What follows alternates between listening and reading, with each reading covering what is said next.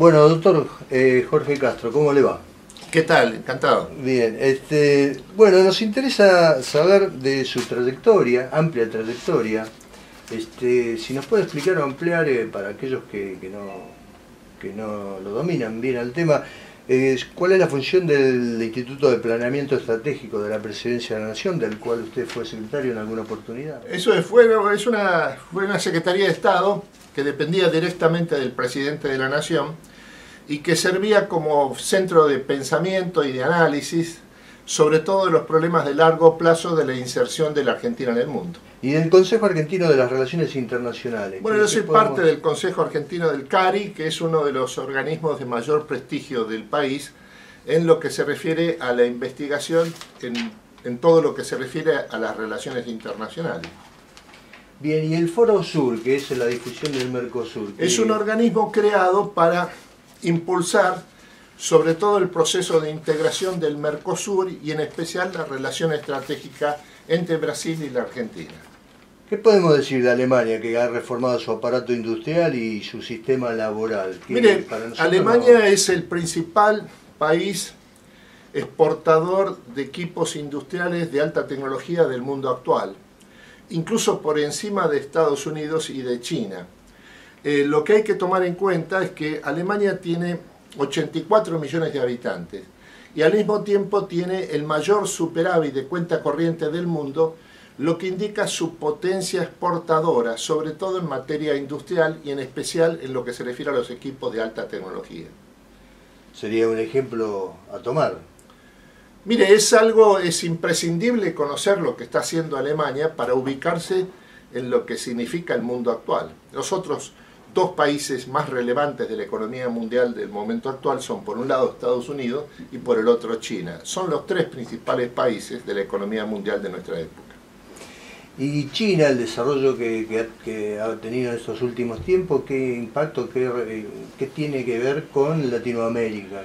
Mire, China es ya la primera economía del mundo, según Naciones Unidas, Banco Mundial, en el año 2014, si se mide el Producto Bruto chino en términos de capacidad de compra doméstica. Esto significa que en términos de capacidad de compra doméstica el producto chino es superior al norteamericano. Al mismo tiempo, China se ha convertido en el principal socio comercial de todos los países de América del Sur en, este aspecto lo que hay que tomar en cuenta es que el vínculo entre China y América Latina es cada vez más importante. En el mes de enero de este año se realizó en Beijing el primer foro entre China y los países de la CELAC, que son de los 33 países de América Latina, incluyendo los países del Caribe. Y lo que se estableció allí es que el comercio bilateral entre China y América Latina se duplica en los próximos 10 años.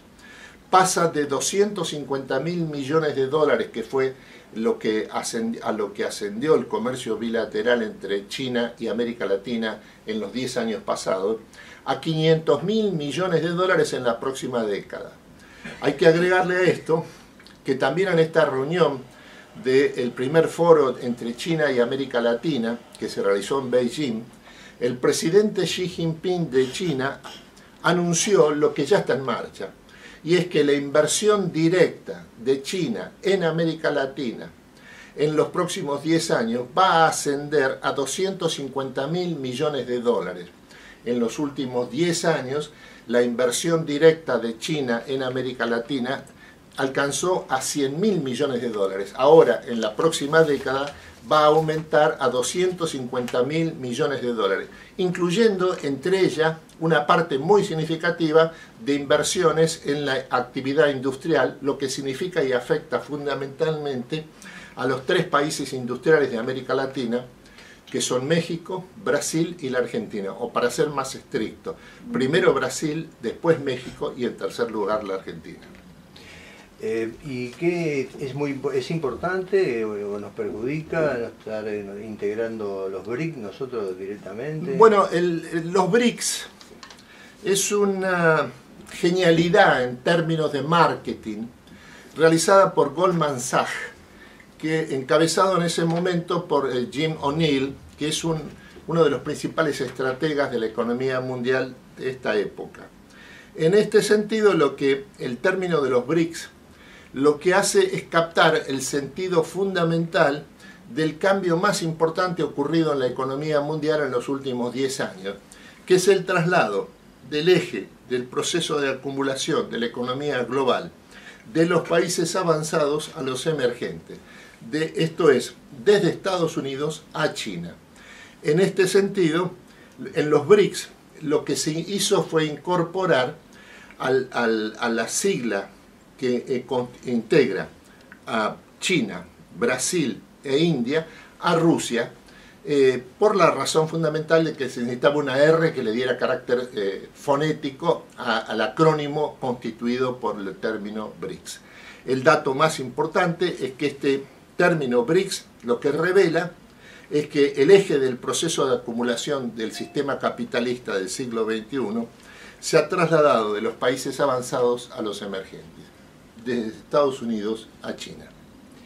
Bien, y no, usted como sabemos todos, nuestra presidenta está de visita en China, ¿no? Y algunos por aquí les preocupa este, la presencia de, personal eh, militar, dicen, en, en, la zona de Neuquén. Eso... Mire, yo me permitiría hacer dos afirmaciones. Lo primero, es que la relación entre la Argentina y China es demasiado importante para dejarla ah, sometida a los términos del conflicto político interno del país. El dato más importante a tomar en cuenta es que la visita de la presidenta Cristina Kirchner que se realiza en este momento a la República Popular China es de enorme importancia para los intereses nacionales de la Argentina en el siglo. Por lo tanto, la presidenta Cristina Kirchner en este viaje a la República Popular cuenta con el respaldo de toda la nación argentina. Y en este sentido hay que advertir que ya este acuerdo, este viaje de la presidenta Cristina Kirchner, está precedido por acuerdos muy significativos de China y la Argentina, sobre todo en lo que se refiere a la inversión china en materia de infraestructura que son básicamente las dos grandes represas de la provincia de Santa Cruz por un lado y por el otro, lo que en términos estratégicos es todavía más importante, el financiamiento y realización de la modernización del sistema ferroviario del Belgrano Cargas, que es la principal infraestructura que comunica la producción agroalimentaria de la Argentina con los grandes mercados asiáticos a través de los puertos chilenos del Pacífico. Bien, y nuestros vecinos chilenos, peruanos, bolivianos, que, tienen una economía, digamos, más, más importante que la nuestra, ¿tienen mayor injerencia o relación con China? Mire, Brasil, tiene, eh, Perú y, eh, y Chile tienen ya acuerdos de libre comercio con China. Son los dos primeros países de América del Sur que tienen acuerdos de libre comercio con China lo que hay es también una propuesta del gobierno chino para que se alcance un acuerdo de libre comercio con los países del Mercosur, Brasil y la, y la Argentina en primer lugar. Hablemos un poquito de, todos los libros que usted ha escrito, fundamentalmente de su último título, Un futuro común, que, que entiendo que... Mire, el libro este se refiere a la relación entre el agro y la industria en la Argentina, en lo que se refiere a la proyección de la capacidad de desarrollo del país. Eh, la idea fundamental que hay acá es que eh, la producción agrícola argentina se ha transformado en la más avanzada de las actividades industriales del país. Y por lo tanto, la cuestión es cómo lograr que la industria manufacturera argentina adquiera los niveles de productividad que ya ha alcanzado la producción agroalimentaria del país para de esa manera transformarse en una competidora mundial para de esa manera transformar a la producción industrial argentina en uno de los grandes exportadores del país, como ya lo es la producción agroalimentaria. Este, en Argentina, usted sabe, próximamente habrá elecciones y, a, los electores les, interesa toda esta problemática relacionada con las relaciones bilaterales, fundamentalmente con el, con el continente asiático, más precisamente con China y, qué tendrían que tener en cuenta o cómo pensarían, cuál sería un mensaje suyo Mire, para el, el mensaje, a, El mensaje que me parece que es fundamental que eh, se establezca en la Argentina en el momento actual, en este año de transición política que culmina con las elecciones presidenciales del mes de octubre, es que la relación de la Argentina y en general de América del Sur, en primer lugar la de Brasil, con el continente asiático, y en primer lugar dentro del continente asiático con la República Popular China, es absolutamente central para los intereses nacionales de cada uno de nuestros países y del conjunto de la región en el siglo XXI. ¿A China le sigue algún otro este, país asiático en importancia? O sea, este, Corea, Japón. Mire, el, China tiene 1.340 millones de habitantes el continente asiático en su conjunto son 4.700 millones de habitantes, más de la mitad de la población del mundo. Y está creciendo a una tasa que es el doble o hasta el triple de la tasa de crecimiento de los países capitalistas avanzados. Esta es la importancia de los países asiáticos en este contexto de la nueva economía mundial integrada, donde el eje de ese proceso de acumulación global ha pasado de los países avanzados capitalistas a los países emergentes, en primer lugar los asiáticos. Muchas gracias, doctor. Por, favor, un gusto.